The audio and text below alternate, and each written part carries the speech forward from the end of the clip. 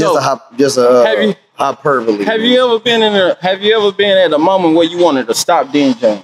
fucking right? Yeah. What make you keep going when you say you want to stop? People keep calling, man. The streets keep calling, man. Motherfucker be like, man, I don't feel like doing this shit no more. Nigga call you, uh, hey man, I need you uh Saturday. How much? Okay, I'm there. Money motivated, you know what I mean? But at the same time, you gotta enjoy what you're doing, man. If you love what you do and you enjoy what you do, you gonna do it. But of course, we all need money, so if the money good, get the money, maybe. Make sure it's good for you. Know your worth. Don't sell yourself short. Get with a team. You- You, know, you- get with a manager, get with an agent, get you know, You just- get lawyered up, get your paperwork. You just you just said something that a lot it would go over a lot of people head. You say know your work.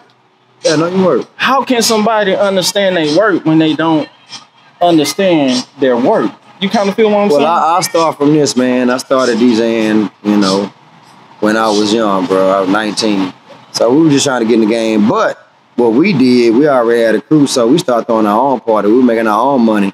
And then we got out into the city and started DJing for clubs and managers and promoters and shit. But we was making our own money, man. We was, we was throwing our own parties. You know what so I mean? it seems like you got to believe in yourself. That's pretty much your work. Yeah, I mean, you know, anything that you do, man, believe in yourself, uh, know your worth. So know the market, the market rate for whatever business you're in.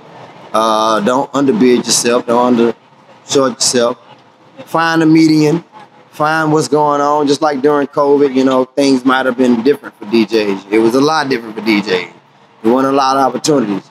So now things are wide open. So if you have a following, if you know that you can bring in people, man, and you might be your own mouthpiece, or you got a manager or somebody that speak for you, they get you in the door. You get in there, rec shop, do your thing, baby, and shit. At that point, when they know that they're making money off of you, go to the table like, hey, this is what I want. This is what I'm worth. Do you hear him? So, people of America, always believe in yourself, know your craft, and even though you want to give up, keep on, keep on staying consistent and Keep persistent. on pushing. Because of the fact you would never get to the end goal if you stop. You're Right. gonna get to the end goal if you keep on walking. but always find your end game. That's the first thing. Know your end game. You hear me? Alright.